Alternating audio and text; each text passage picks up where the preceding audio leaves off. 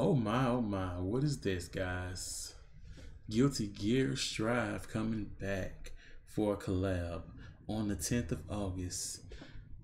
Hopefully, we get another new character. I can see the protagonist, I mean, antagonist coming in as a character. That would be cool as crap right now. But as two characters on here I don't have, that'd be Jack-O and Elphelt. Um, if I pull, I might have to spin a little bit because we also have been announced that we're getting ReZero as a collab also the week after.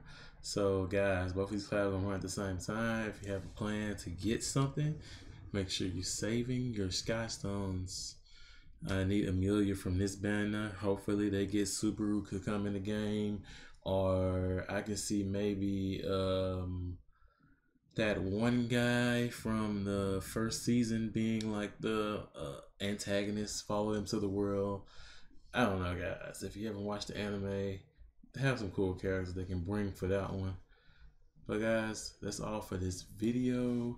If you want to know what's going on, don't forget to check the stove page in the app for more details. And I'll see you guys next time.